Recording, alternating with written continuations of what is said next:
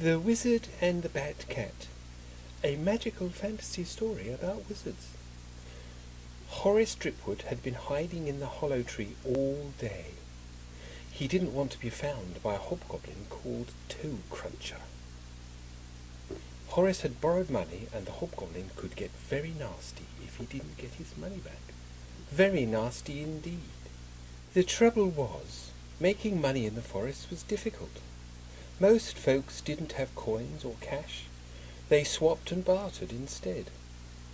Nobody seemed to want the services of a scruffy wizard of middling years, whose hat sagged, his old robes were threadbare, and his pointy-toed slippers were more hole than shoe.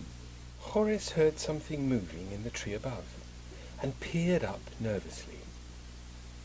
Luckily, it wasn't Toecruncher as he feared.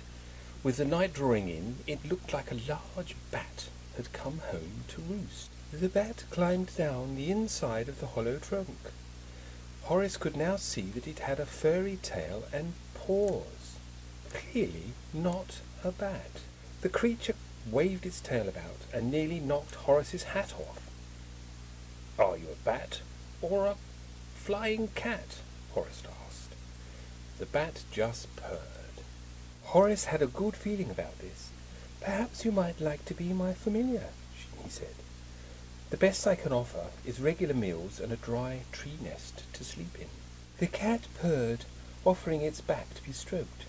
Despite the bat-like wings, it behaved like a normal cat.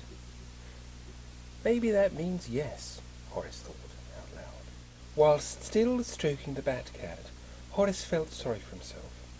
He told the Bat-Cat of his woes and sorrows, a lack of wizarding work, no sympathy from his friends. Horace felt the creature somehow understood. The Bat-Cat jumped down from Horace's lap and started scratching around at the base of the hollow tree. At first, Horace thought it was going to do something nasty in the leaf litter. But when the corner of a small chest emerged, Horace became excited and began helping with the digging. In a few minutes, a small metal chest was revealed. The best thing was that it was unlocked and full of silver coins. With this treasure, he could pay off the hobgoblin easily. The next day, he did just that, with the bat-cat sitting on his shoulder. No more debt for me, Horace thought. Then they went to the market together and bought plenty of food. Horace was delighted to have met the bat-cat who turned his life completely around. And she seemed pretty pleased with the arrangement too.